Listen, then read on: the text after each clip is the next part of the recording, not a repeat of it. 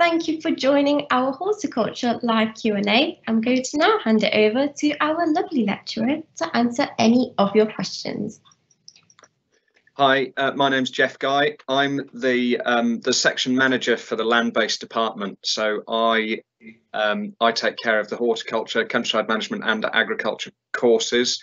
Uh, and those of you that will um, study horticulture with us in the future may well have the um, the dubious pleasure of me as one of your your tutors for some of the modules I, I teach the horticulture students. Um, timber landscape features this year. Um, and we've got a first question here. So what is horticulture? Um, horticulture is, as far as our courses are concerned, it, it's um, the the theory, practice, and science behind um, plants, gardening, growing. Um, the the courses include quite a lot of uh, of the underpinning science knowledge, like plant science and soil science, that's important um, for the industry um, and and for for the nation, frankly, in terms of you know growing and producing things sustainably. Um, and then there's uh, there's a lot of practical um, plant management, plant propagation, um, plant production, uh, and and the maintenance of those plants. So you might you might be planting and pruning trees. You'll learn to identify different plants and trees, um, and learn how to design um, gardens sort of um, not necessarily your back garden style gardens, but sort of amenity gardens like you'd find in parks and stately homes and things like that. So it's quite a quite a broad, um, quite a broad uh, subject. Um, we've got a question from Steve about entry requirements. So we're looking at um, five GCSEs, um, graded um, what used to be um, a C and upwards, or, or uh, nowadays that's a four. So um, five GCSEs graded four and up, um, and ideally those should include maths and English. Um, science is also helpful. Um, especially with the um, with the exams that you'll have to sit on the horticulture course, um, but the uh, maths and English is particularly important. If you do not have a C or a at least a four in maths and English, you will be required to resit them at college. Um, got a question from Ava about how many days a week. Oh, it's disappeared.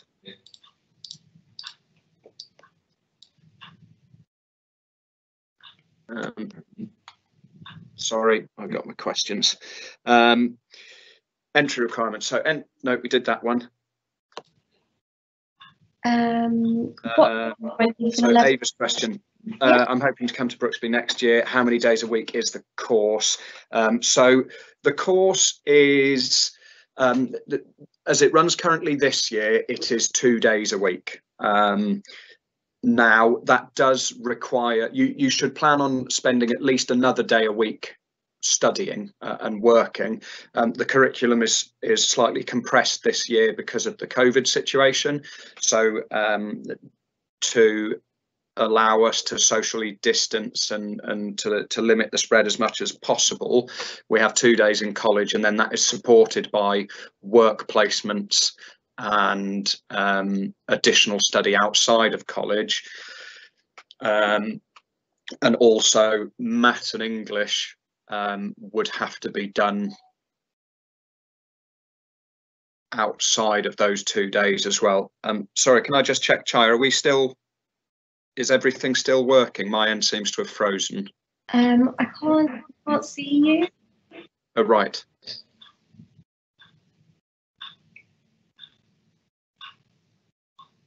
Um, um, are the answers still coming through? Can yeah, we can. Yeah, we'll, yeah. we'll just crack on then, I suppose, as long as everyone can hear me.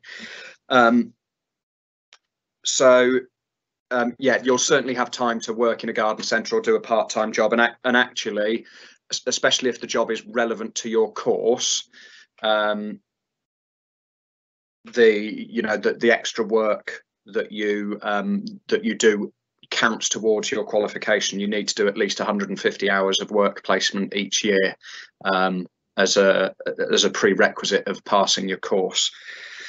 Um, so we've got another question about entry requirements. So um, what grades do I need to do level two or three? So the the, the entry requirements I mentioned previously, that's for um, uh, that's for the level three course. The level three course, five GCSEs, including maths and English, and ideally a science as well.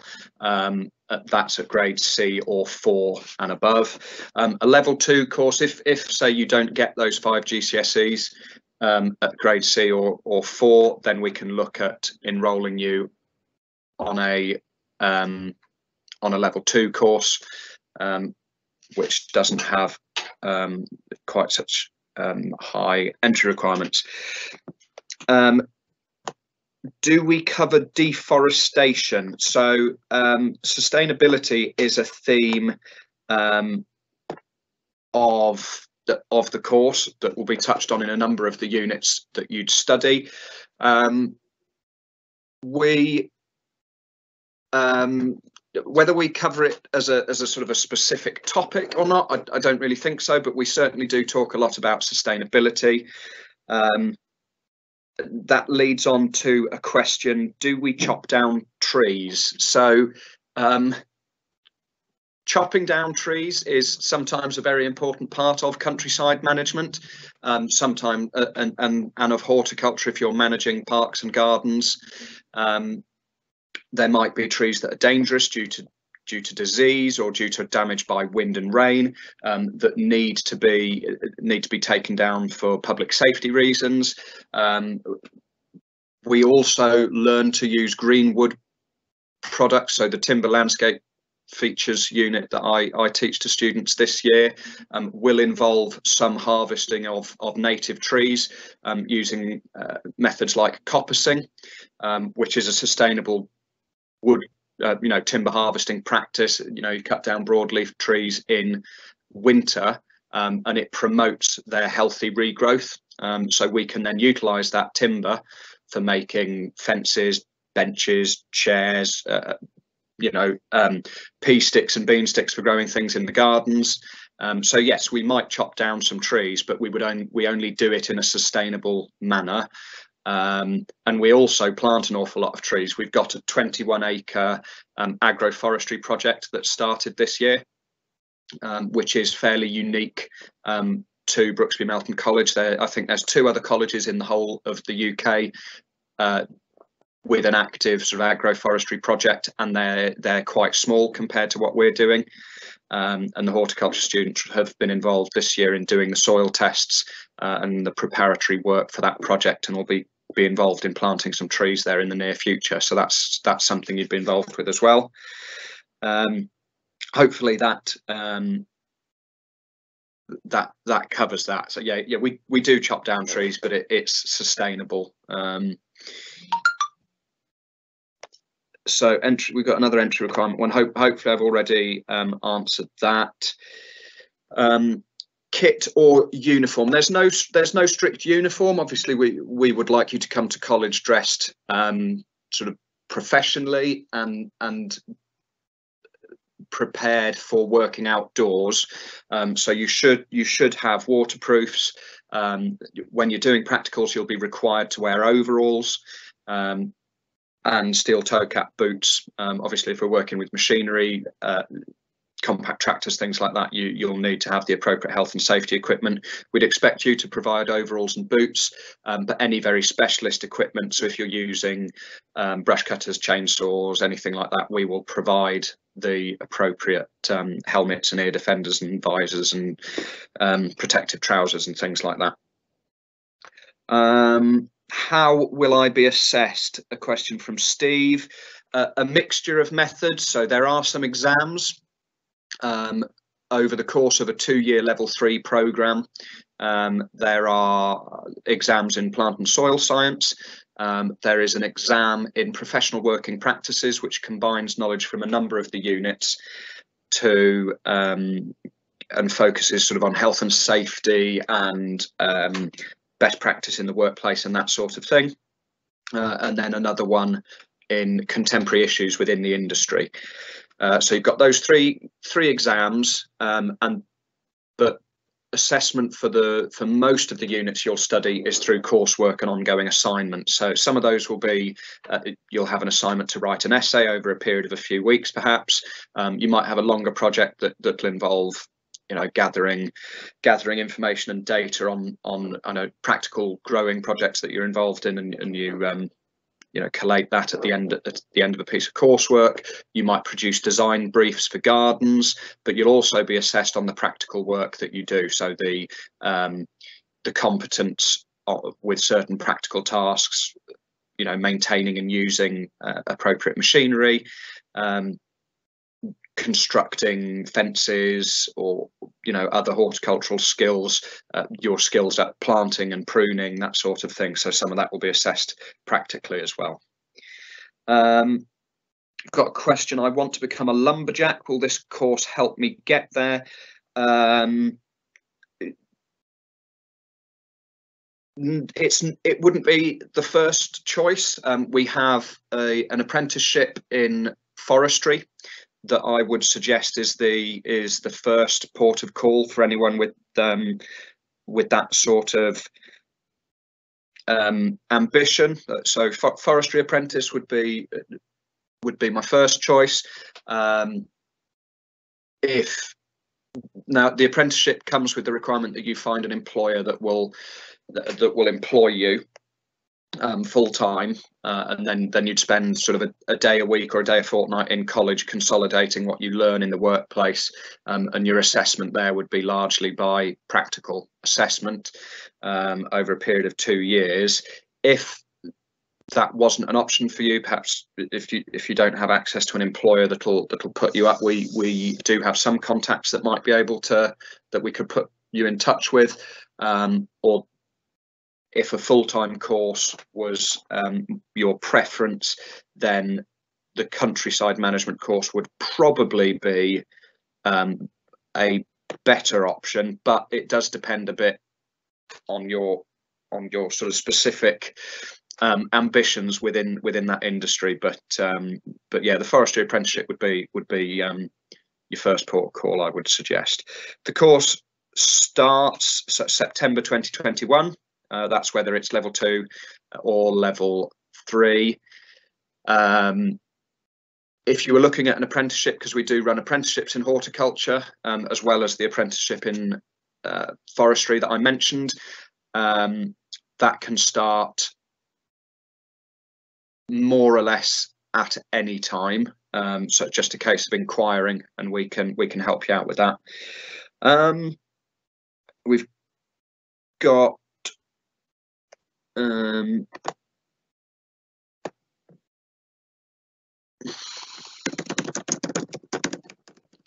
um,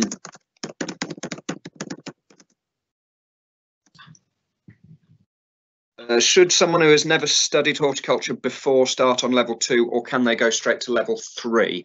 Um, you can go straight to level three. The G GCSEs is the requirement um, that I mentioned before. So that's the five, five GCSEs, grade four or C, um, including maths and English.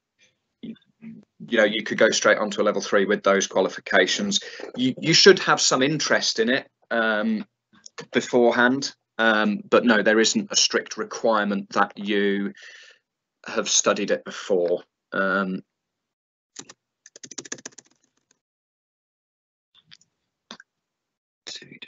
Experience in people's gardens. So work experience in people's gardens. Um, it depends a bit on sort of how you're doing that. So if, if you're pottering around in your own garden, no, that would not count as work experience. Um, you, if you were working in other people's gardens as a, you know, through a, a business, perhaps a, a, gardening firm that you worked for that was working in other people's gardens, then yes, that would be absolutely fine. But if it if it's just your own garden, that wouldn't be uh, that wouldn't be sufficient. Um,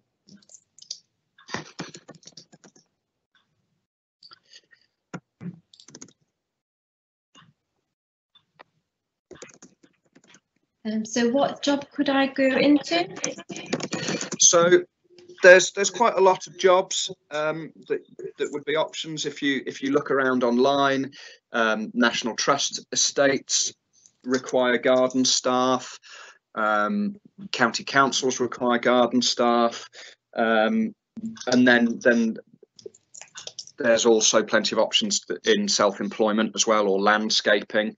Uh, that's that's those are just some examples. I mean, there's um, nursery work as well, um, which is where you, you, you, sort of propagate and grow plants for further sale. Garden centres, design work, um, or or going on to higher education potentially.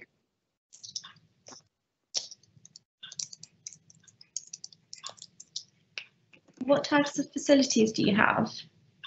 Um, so we have a, a state-of-the-art glass house, um, which the, the students use on a weekly basis. Um,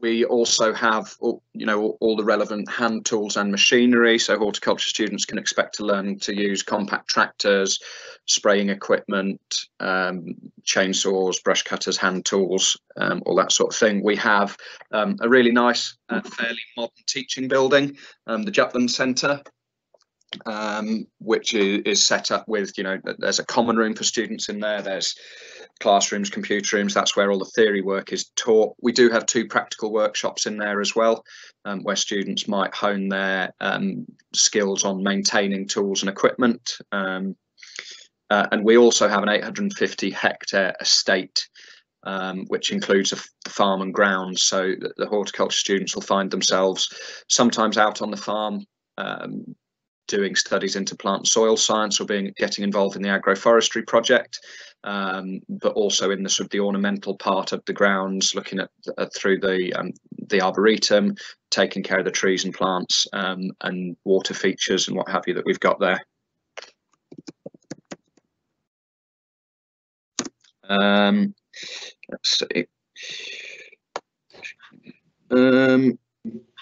What do the students like most about Hort? Um, I, I, probably have to say the the outdoor hands-on side of it. Um, as a a student that came, uh, you know, I came through a further education college as a student myself um, on a countryside management course rather than horticulture, but certainly that was always the thing I appreciated about learning at an FE college. Um, the practical element, you know, we weren't just in classrooms talking about things. Um, we were doing, you know, learning by doing, and and that really is at the heart of um, of the horticulture and any other course at Brooksby Melton College. Um, you will be doing the things, not just talking about them. So you will get a chance to work in the college grounds, um, in the glass houses, as as well as your um, you know your work experience that you do outside of college, your theory classes and all that sort of thing. We have you in on what we call routines, where you work alongside our um, full-time grounds and glasshouse technicians. Um, as if you were at work to get additional skills um, that you will be able to use in the industry. Um, and, and you know, I, th I think the students really, really appreciate that, really like that about about the course that they're able to get stuck in and get involved in horticulture practically, uh, not just on paper. Um, how do I apply, um, Steve? To apply, um, the website is the best way. That that's right, isn't it? Shire website at the moment. Are there are there application forms in the prospectuses as well?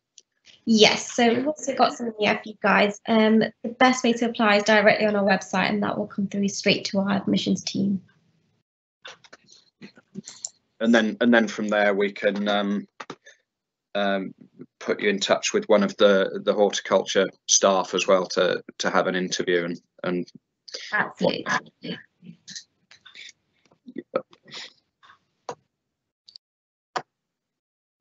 Um, looking back to see if there's any I have missed.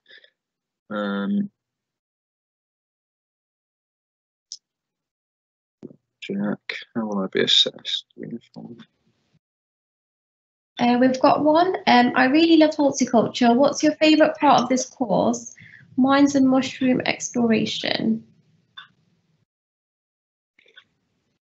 Okay, so um, my, my favourite part of the course, um, it, it, I suppose I'd have to say that the unit that I, I teach to the horticulture students. Um, so at the um, at the moment we're with them we're planning um, some uh, bridge building projects. We're we're looking at the possibility of um, as, as well as, as, a few smaller projects that they're involved with with their timber landscape features, we're looking at making a decorative bridge um, from scratch. Um, so we're going to mill up some timber with a chainsaw mill um, and produce a bridge. So that's that's really fun. You, you mentioned mushroom exploration there. So um, mushrooms, partic particularly or fungi rather, particularly edible ones, are a, a sort of a, a special interest of mine. I did take um, the horticulture students out um, on a, a, sort of a wild food forage a few weeks ago. Um, uh, we it was a bit before it was the best time of year for the for fungi, but we the the students collected some um, some rose hips and various things, and we we made some rose hip jelly and bits and pieces. So so as a as a bit of a um, a sidetrack to the to the course, we do a bit of foraging and things like that. Um, but yeah, mush fungi and mushroom ideas a particular interest of mine. Um, but yeah, I, I think my favourite bit is what I'm currently teaching to students the the um, timber landscape stuff but that each student will have have their will have their own favorite thing or or thing they um they think they're most likely to pursue as a career uh, everyone's individual when it comes to that. So we have one more. That sounds amazing at Brooksby do we get to do routines as well as practical stuff? Absolutely. So um the you'll do practical lessons which will be um, you know with with the rest of your class and with a lecturer but your routines you'll be in smaller groups not normally more than two or three working with the the full-time grounds team um, or in the glass houses um, so so yeah you will be involved with um, with working in the grounds in a number of capacities, both as a student and as a uh, on those days that you do routines effectively as a um, you know as a job. Um, you'll get a few days to do that each year. We do also go out um, to other sites to do work. Obviously, that that's been impacted a little by um, COVID this year, um, but we've still managed to make a few trips out to where you know where um, because a lot of this happens outdoors, it's it's fairly straightforward to remain socially distanced and and what have you. So we've we've still managed to get a few trips out. Students were at Chatsworth a few weeks ago. I think I think there's something on the website about that, um, and it was shared on social media. So they they were involved in a really exciting project there. Um, so yeah, an awful lot to do, uh, routines and other and other practicals.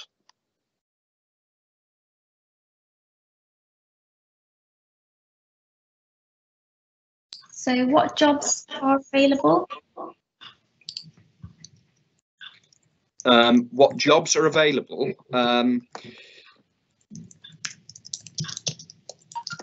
well, um, all sorts really. I mean, um, there's quite a lot of op opportunities for self-employment in horticulture, whether that's sort of down the landscaping uh, side of it or um, or you know design various other things. Um, garden centres nurseries and obviously when i say nurseries we're talking about propagating and producing plants for sale.